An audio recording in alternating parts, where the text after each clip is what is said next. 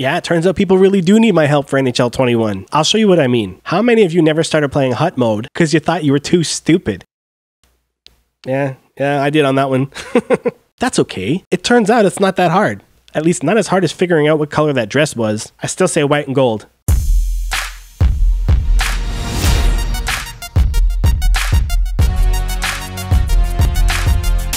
Welcome back, folks. My name is Ryan, and I'm the TruBeLeafer, aka the champion of your chat room. And as we get closer to the release of NHL 21, I am here giving you guys tips that you can practice right now in NHL 20 because the AI in 21 is going to be a lot smarter. So you gotta be too. And as far as HUT mode is concerned, it's actually pretty easy, but I'm going to break it into two parts playing an actual game and then all the other craziness that happens in HUT mode. So let's quickly show you what a challenge looks like. So when you start your new HUT team this season, you're going to want to get it leveled up as quickly as possible. Some good ways to do that is these Stanley Cup challenges right here. But Ryan, they might not even have Stanley Cup challenges in the new one. Hey, shut up.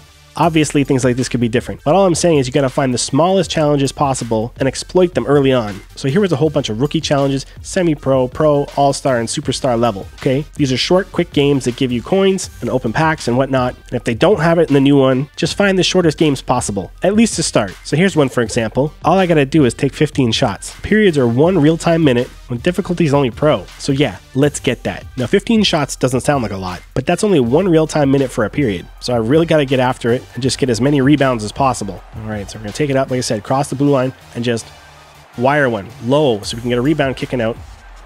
Okay. Oh, I'm getting picked off, but you know.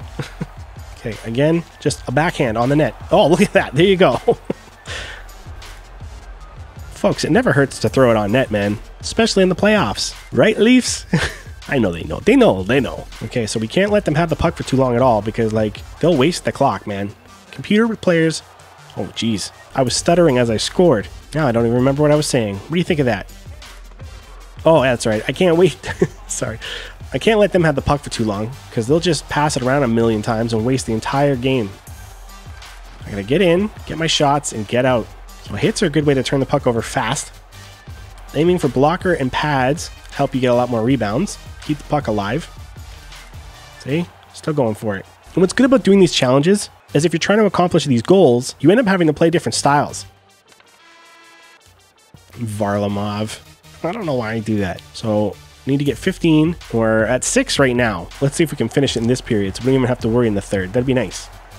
Nice stress-free existence.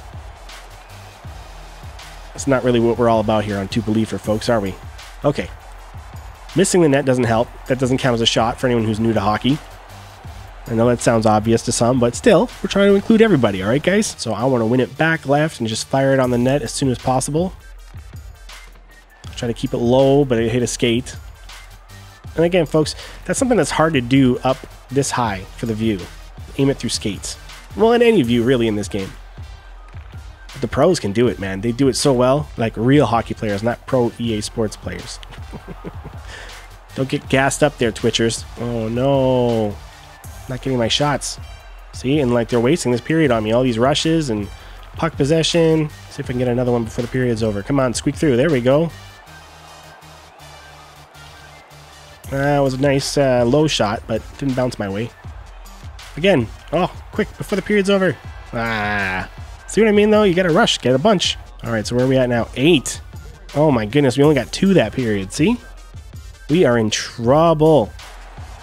Oh, there we go. Let's just get another one there. Hey, you gotta take them when you can get them, right? All right, come on. Get it over the blue line and fire it on the net. Let's go. Come on. There we go. Another one. All right, come on now. Get it through the traffic. See, they know. They know that's my challenge is to get shots. They swear. They design the, the challenges this way. Okay, get by him. Little shot on net. There we go. That counts, right? What are we at now? Like 10? Get it back, boys. We're wasting time. See the way the computer just stalls and stalls and stalls? More than Eric, right? Come on, get a pathway clear. No. Oh my goodness. I don't think we did it.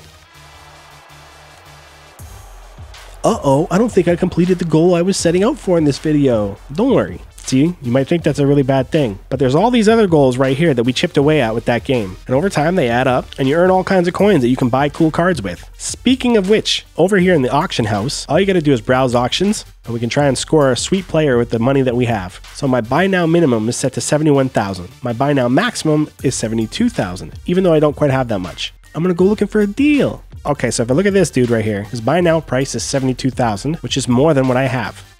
If I go here, down to compare price.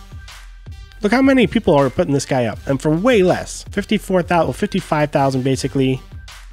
Can I go lower? Oh, 44,000. All right, so over here, that's the one then. 44,444. Buy now. Send them to the collection. Now, were there better players available in my price range? Maybe, but I'm just trying to show you that the compare price function is awesome and it'll save you a ton of money if you're smart. I'm not smart and it helps me, so imagine what it can do for you. Again, the HUT mode might not be exactly like this in NHL 21. I don't really know, but no matter how it presents itself, there's going to be a way to find a good deal on cards. So focus on that. Buying packs is always going to be a waste if you ask me. Other than that, you'll see some objectives in there probably somewhere, something like this. Just keep working away at those goals and you'll be able to collect coins coins. There they go. So nice, right? Well, there you have it, folks. There's some HUT mode tips that I can guarantee will help you in NHL 21. You gotta remember, there's people out there that are just joining the NHL franchise for the first time, so we're looking out for you too, okay? Other than that, if you enjoyed this video, make sure you snipe that like button. Maybe go back and check out the other videos like this in the series. And if you want to witness when NHL 21 finally gets released, come check it out here and subscribe so you don't forget. I'm also on Twitch every Friday at 10 p.m. Eastern Time, where we just kick back and we play some hockey and we talk about hockey. Everyone's included, except you. Yeah, you know who you are. I'm kidding, I'm kidding. Come on out. Stay safe out there, everybody, and I'll see you at the rink. That's right, folks, you heard. The TruBeLeafer is now on Twitch. So come join me over there on Fridays for our live streams, and keep checking back on this channel for our weekly videos. I always say our like it's a bunch of people. It's just me. They're my videos. Weird.